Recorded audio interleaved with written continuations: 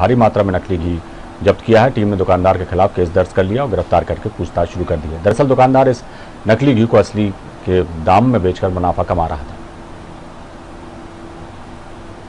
और यहाँ पर जैसा देख, गया कि नीचे इनकी दुकान है जहाँ पे देसी घी के नाम पर ये पालीवाल घी दुकान है।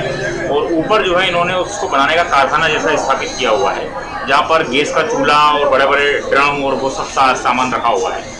जहाँ पर जो है कुछ दूसरा अपमिश्रण पदार्थ मिला जिसको मिला के बनाते हैं, बल्कि इसकी जो दुकान के जो नौकर है, उसके द्वारा बयान दिए गए हैं कि उसमें डालडा मिक्स करते हुए, यानी पंद्रह किलो का जो देसी का डब्बा है, उसमें पाँच किलो देसी घी निकाल के, उसमें पाँच किलो डालडा मिला के ये लोग बनाते हैं। तो कुल मिला के अभी तकरीबन 217 किलो के आसपास घी जो है बरामद किया गया है, और अभी सैंपलिंग की कार्रवाई चल रही है।